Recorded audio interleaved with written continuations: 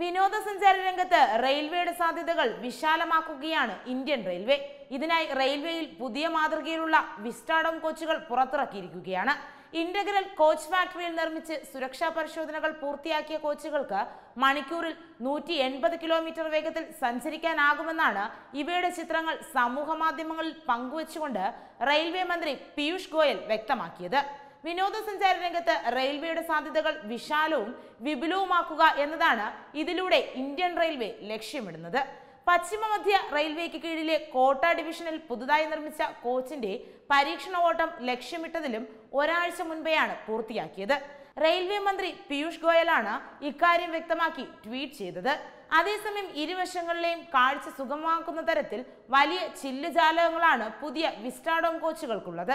ആകാശ കാഴ്ചയും ലഭ്യമാക്കുന്ന വിധത്തിൽ മേൽക്കൂരയിൽ ചില്ലുപാളികളാണ് ക്രമീകരിച്ചിരിക്കുന്നത്. വൈഫൈ ആധാരമാക്കി യാത്രക്കാർക്ക് വിവരങ്ങൾ നൽകുന്ന സംവിധാനവും നാൽപ്പത്തിനാല് സീറ്റുകൾ വീതമുള്ള ഈ കോച്ചുകളിൽ ഏർപ്പെടുത്തിയിട്ടുണ്ട്. അതേസമയം ഇതാദ്യമായി അപകട സാധ്യത ഏറ്റവും കുറവുള്ള എൽ എച്ച് പി പ്ലാറ്റ്ഫോമിലാണ് വിസ്റ്റാഡോം കോച്ചുകൾ നിർമ്മിച്ചിരിക്കുന്നതെന്ന പ്രത്യേകതയും ഇതിനുണ്ട്.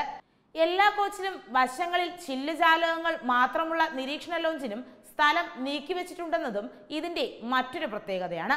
അതേസമയം എയർ സ്പ്രിംഗ് സസ്പെൻഷൻ സംവിധാനമാണ് പുതിയ കോച്ചുകളിലെന്നും റെയിൽവേ അറിയിച്ചു. ഇതിനു പുറമെ ഓരോ കോച്ചിലും സീറ്റിലെ കൈപ്പിടിക്ക് താഴെ മൊബൈൽ ചാർജിംഗ് സോക്കറ്റും ഘടിപ്പിച്ചിട്ടുണ്ട്.